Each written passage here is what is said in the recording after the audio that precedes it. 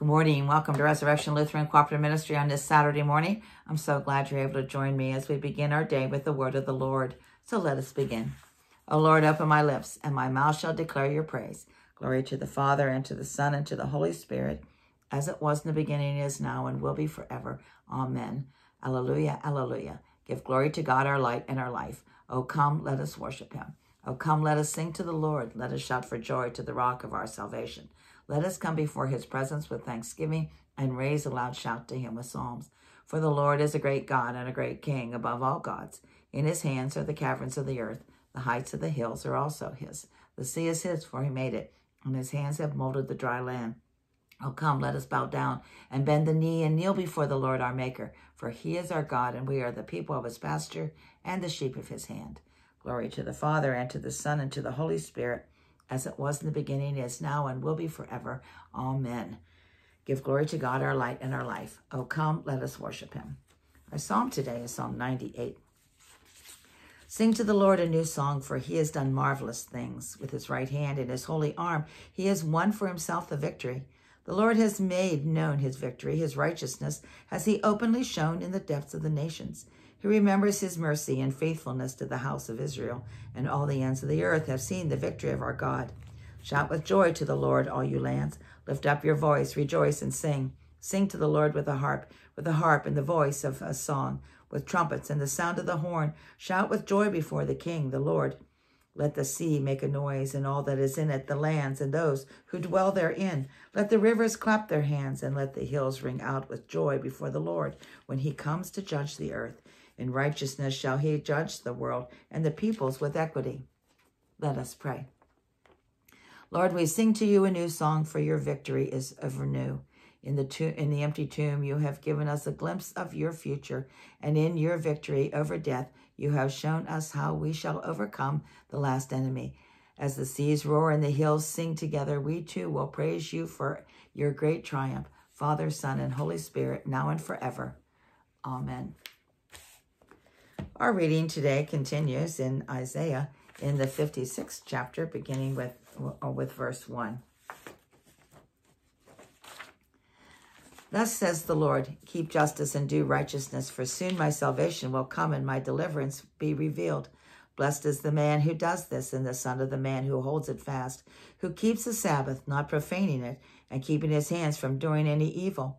Let not the foreigner who has joined himself to the Lord say, The Lord will surely separate me from his people. And let not the eunuch say, Behold, I am a dry tree. For thus says the Lord, to the eunuchs who keeps uh, keep my Sabbath, who choose the things that please me, and hold fast my covenant. I will give in my house and within my walls a monument and a name better than sons and daughters. I will give them an everlasting name which shall not be cut off. And the foreigners uh, who join themselves to the Lord to minister to them, to love the name of the Lord, and to be his servants. Everyone who keeps the Sabbath and does not profane it, and holds fast my covenant, these I will bring to my holy mountain, and make them joyful in my house of prayer.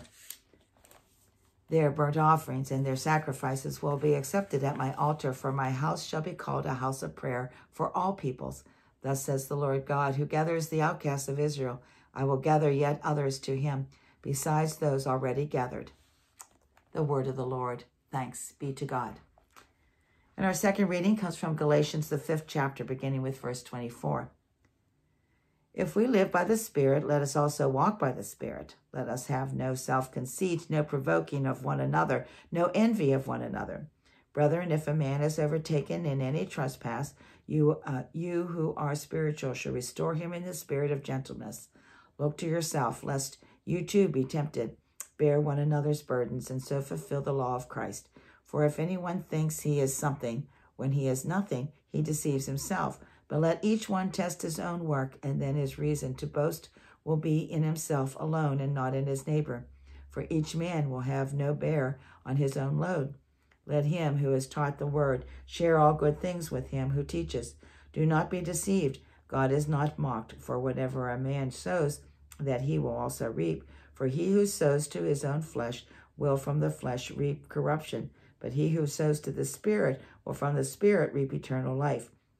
And let us not grow weary in well doing, for in due season we shall reap, If we do not love, uh, uh, love, lose, lose heart, if we do not lose heart, so then, as we have opportunity, let us do good to all men, and especially to those who are in the household of faith. The word of the Lord. Thanks be to God. And our Holy Gospel today comes from St. Mark, the ninth chapter. Glory to you, O Lord. And when they came to the disciples, they saw a great crowd about them and scribes arguing with them. And immediately all the crowd, when they saw him, were greatly amazed and ran up to him and greeted him. And he asked them, What are you discussing with them? And one of the crowd answered him, Teacher, I brought my son to you, for he is a dumb spirit, and when wherever uh, wherever it seizes him, he dashes him down and it foams and, and grinds his teeth and becomes rigid. And I asked your disciples to cast it out, and they were not able. And he answered them, O faithless generation, how long am I to be with you? How long am I to bear with you? Bring him to me. And they brought the boy to him. And when the spirit saw him immediately, it convulsed the boy, and he fell on the ground and rolled about, foaming at the mouth. And Jesus asked his father, how long has he had this? And, and he said, From childhood. And it has often cast him into the fire and into the water to destroy him. But if you can do anything, have pity on us and help us. And Jesus said to him, If you can, all things are possible to him who believes. Immediately the father and the child cried out and said, I believe, help my unbelief. And when Jesus saw the crowd coming running together, he, bu- he rebuked the unclean spirit and saying to it, You dumb and deaf spirit, I command you, come out of him and never enter him again. And after crying out and convulsing him terribly, it came out, and the boy was like a corpse, so that most of them said, He is dead. But Jesus took him by the hand and lifted him up, and he arose. And when he had entered the house, his disciples asked him privately, Why could we not cast it out? And he said to them, This kind cannot be driven out by anything but prayer. The gospel of our Lord. Praise to you, O Christ. In many and various ways, God spoke to the people of old by the prophets, but now in these last days, he has spoken to us by his Son. Blessed be the Lord, the God of Israel. He has come to his people and set them free. He has raised up for us a mighty Savior, born of the house of his servant David. Through his holy prophets, he promised of old that he would save us from our enemies, from the hands of all who hate us. He promised to show mercy to our fathers and to remember his holy covenant. This was the oath he swore to our father Abraham, to set us free from the hands of our enemies, free to worship him without fear, holy and righteous in his sight all the days of our lives. You, my child, shall be called the prophet of the Most High, for you will go before the Lord to prepare his way, to give his people knowledge of salvation by the forgiveness of their sins in the tender compassion of our God, the dawn from on high shall break upon us, to shine on those who dwell in darkness and the shadow of death, and to guide our feet into the way of peace. Glory to the Father, and to the Son, and to the Holy Spirit, as it was in the beginning, is now, and will be forever. Amen. Our Lord and our Savior, begotten before all ages, revealed himself to the world. Alleluia. Let us pray. We have come, O God, at thy bidding. Unless we are willing to be healed, thou canst not heal the world's hurt. Grant us now, in the power of thy Spirit, to hear the word which maketh whole the sick, and all things new that were old. Through Jesus Christ our Lord. Amen. O Lord Almighty and everlasting God, you have brought us in safety to this new day. Preserve us with your mighty power that we might not fall into sin nor be overcome in adversity. And all that we do, direct us to the fulfilling of your purpose. Through Jesus' name we pray. Amen. And Lord, remember us in your kingdom and teach us to pray. Our Father, who art in heaven, hallowed be thy name. Thy kingdom come. Thy will be done on earth as it is in heaven. Give us this day our daily bread, and forgive us our trespasses as we forgive those who trespass against us. And lead us not into temptation, but deliver us from evil.